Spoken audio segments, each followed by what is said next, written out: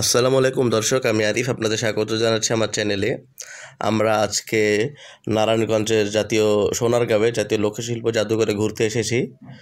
এখানে প্রবেশ মূল্য পঞ্চাশ টাকা টিকিট দর্শক। ভিতরে ঢুকে আমি আপনাদের এখন কিছুটা চেষ্টা করব এই জাদুঘরের ভিতরের প্রাঙ্গণটি ঘুরিয়ে দেখানোর জন্য। জাদুঘরটি একটি বিশাল উদ্যান এখানে আছে। অনেক অসংখ্য গাছপালা, লেক, দোকান এখানে আছে। লোকশিল্প, কারুশিল্প জাদুঘরে। দর্শক মণ্ডলী, আপনারা দেখতে পাচ্ছেন একটি কত সুন্দর একটি লেক। আমরা এখন চেষ্টা করব আপনাদের ওখানে নিয়ে যাওয়ার। আমরা যাচ্ছি, দর্শক। দর্শক, জাদুঘরের শুরুতে একটা আপনারা দেখতে পারবেন, বঙ্গবন্ধুর শেখ মুজিবুর রহমানের একটি মুরল আছে। তার প্রতিকৃতি সেখানে আছে, দর্শক। আমরা এখন আপনাদের প্রাঙ্গণটি এক মুহূর্তের জন্য ঘোরানো দেখে চেষ্টা করছি, দর্শক। অনেক সৌন্দর্য। আমরা শীতকালে গিয়েছিলাম, দর্শক, যেখানে ফুল ফুটেছিল অনেক। দর্শক মণ্ডলী, দেখতে পাচ্ছেন আমরা চলে এসেছি জয়নুল আবেদিন শিল্পাচার্য জয়নুল আবেদিনের লোকশিল্প জাদুঘরের সামনে। এটি দুই ছিয়ানব্বই সালে শিল্পাচার্য জয়নুল আবেদিন এটি প্রতিষ্ঠা করেন। আমরা এখন ভিতরে নিয়ে যাব দর্শক আপনাদের। দর্শক আপনারা পঞ্চাশ টাকা টিকিট কেটে ভিতরে ঢুকেছিলেন। ওই ওই টিকিট দিয়ে আপনারা ভিতরে ঢুকতে পারবেন এটির। এক্সট্রা কোনো চার্জ দেওয়া লাগবে না। আমরা যেদিন গিয়েছিলাম, সেদিন শুক্রবার ছিল, বিদায় অসংখ্য ভিড় ছিল। আমরা আপনাদের সাজেস্ট করব আপনারা যেন শুক্রবার ব্যতীত বা কোনো সরকারি ছুটি ব্যতীত এই জায়গাটিতে যান, তাহলে আপনারা সুন্দর করে জায়গাটি উপভোগ করতে পারবেন। দর্শক, এটি হচ্ছে প্রত্যেকটি ফ্লোরের এরিয়াল ভিউ এখন আপনারা, আমরা আপনাদের প্রত্যেকটি নিদর্শনের কাছে নিয়ে যাব দর্শক।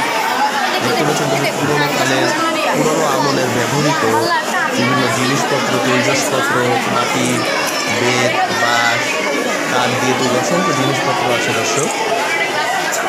এগুলো ভিতরে এসে আপনারা এগুলো ছবি তুলতে পারবেন, ছবি তুলতে বাধা নেই।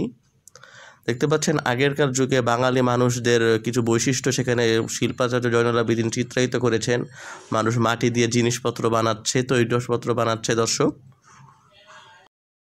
এই জাদুঘরটিতে তিনটি ফ্লোর রয়েছে। প্রতিটি ফ্লোরের শেষ প্রান্তে এরকম একটি বিশাল জায়গা জুড়ে একটি দৃশ্য দেওয়া আছে, দর্শক। এটি সাম্পান নৌকো, বেলুন। দর্শক, দেখতে পাচ্ছেন, মানুষের তৈরি একটি ভাস্কর্য। সাম্পানের একটি নৌকো, দর্শক। অনেক সুন্দর সুন্দর জিনিস যেগুলো বিশ্ব ঐতিহ্যে স্বীকৃত। আপনারা এগুলো এখানে এসে এখানের সম্পর্কে অনেক কিছু জানতে পারবেন। আপনারা আপনাদের ছেলে মেয়েদের বা বন্ধু বান্ধবদের সঙ্গে এখানে চলে এসে এখান থেকে অনেক কিছু শিক্ষা লাভ করতে পারবেন দর্শক। একটি মাছ, একটি মাছকে খাচ্ছে। রূপকথার কল্পকাহিনী এখানে আছে। মানুষের তৈরি একটি ভাস্কর্য। বিভিন্ন সময় বাংলাদেশের বিভিন্ন অঞ্চল থেকে অনেক কিছু নিদর্শন পাওয়া গিয়েছিল। এগুলো পরবর্তীতে জাদুঘরে এসে স্থান দেওয়া হয়েছে, দর্শক। অনেক কিছু তৈরি করা হয়েছে। একটি গরুর প্রতিচ্ছবি। প্রাচীন আমলের ব্যবহৃত কিছু জিনিসপত্র, দর্শক, এখানে আছে। লোক ও কারুশিল্প জাদুঘরে আপনারা এসে, আপনারা অনেক নিদর্শন পুরনো আমলের প্রাচীন বাংলার এখানে শুধুমাত্র বাংলাদেশি বা উপমহাদেশের ব্যবহৃত কি জিনিসই পাবেন, দর্শক?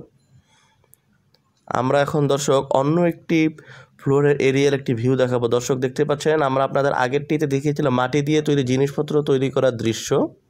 এখন দেখাচ্ছি, মানুষজন সেখানে কাপড় বুনছে, সুতো তৈরি করছে, দর্শক। দর্শক মণ্ডলী এই প্রতিটি নিদর্শনের সামনে গ্লাস দিয়ে আটকানো আছে, আপনার ইচ্ছা করলে এগুলো ধরতে পারবেন না, শুধু দেখতে পারবেন, ছবি তুলতে পারবেন। আমার মতো অসংখ্য মানুষ এগুলো দেখছে, ছবি তুলে নিয়ে যাচ্ছে। এগুলো, দর্শক, আমরা পরে এখান থেকে বেরিয়ে চলে এসেছি। এটা হচ্ছে ইসাখার প্রাচীন আমলের ব্যবহৃত রাজপ্রাসাদটি। ইসাখা প্যালেস। এর ভিতরে আপনাদের ঢুকতে হলে একশো টাকা টিকিট কেটে ঢুকতে হবে। এর সামনে একটি লেক আছে। এটি নারায়ণগঞ্জ লোকশিল্প জাদুঘরের পাশেই অবস্থিত। দর্শক মন্ডল দেখতে পাচ্ছেন মূল ফটকের ভিতরে ঢুকতে হলে আপনাদের একশো টাকা টিকিট কেটে ঢুকতে হবে। তবে সময় স্বল্পতার কারণে আমরা সেখানে বেশিক্ষণ থাকতে পারিনি। একশো টাকা টিকিট কেটে আপনি সর্বোচ্চ তিরিশ মিনিট সেখানে থাকতে পারবেন দর্শক। পরবর্তীতে আমরা সেখানে বেরিয়ে এখান থেকে বেরিয়ে আসি। দর্শক, কিছু ব্যস্ততার কারণে আমাদের সেখানে থাকা সম্ভব হয়নি। দর্শক মণ্ডলী, আমরা বাসে আসার সময় বা পিকনিক স্পটে এসে আমরা কীভাবে কি করেছিলাম, আপনাদের এখন তা দেখাবো দর্শক।